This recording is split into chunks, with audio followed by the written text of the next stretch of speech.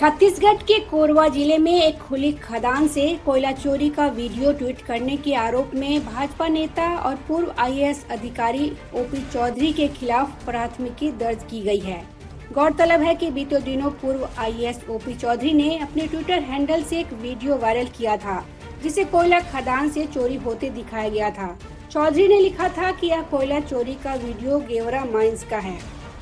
कोरबा की गेवरा खदान से हज़ारों मजदूर और सैकड़ों वाहन कोयला चोरी में लगे हुए हैं, जिसके बाद जनता में प्रशासन के विरुद्ध चर्चाएँ होने लगी थी।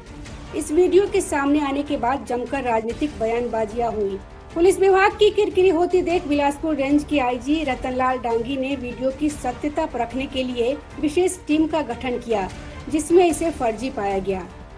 कोरबा के अतिरिक्त पुलिस अधीक्षक अभिषेक वर्मा ने कहा कि मधुसूदन दास यादव की शिकायत पर यहाँ बकी मोगरा पुलिस स्टेशन में चौधरी के खिलाफ आईपीसी की धारा 505 एक बी के तहत मामला दर्ज किया गया है। अधिकारी ने कहा कि बकी मोगरा इलाके के निवासी यादव ने शिकायत की थी कि चौधरी ने लोकप्रियता हासिल करने के लिए एक फर्जी वीडियो पोस्ट किया था। वहीं भाजपा के वरिष्ठ नेता प्रतिपक्ष धर्मलाल कौशिक ने भाजयुमो सह प्रभारी पूर्व आईएएस ओपी चौधरी के खिलाफ मामला दर्ज किए जाने पर मुख्यमंत्री भूपेश बघेल पर हमला बोलते हुए कहा है कि बदलापुर की राजनीति सच सामने लाने वालों का दमन और दामन पर दाग ही भूपेश बघेल सरकार की पहचान है। क्या राजनीतिक संरक्षण में कोरबा में संगठित कोयला चोरी हो रही है, जो भाजपा नेता ओपी चौधरी पर मुकदमा लादा गया है?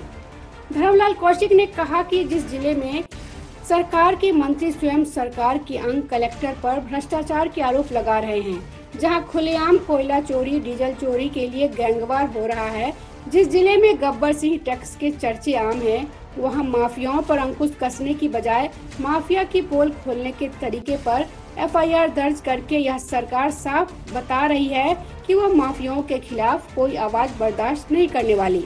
नेता प्रतिपक्ष कौशिक ने आगे कहा कि कितनी गंभीर बात है कि कोरबा ज़िले से जुड़े मंत्री जयसिंह अग्रवाल जिला कलेक्टर रानू साहू पर बकायदा पत्र लिखकर गंभीर आरोप लगाते हैं।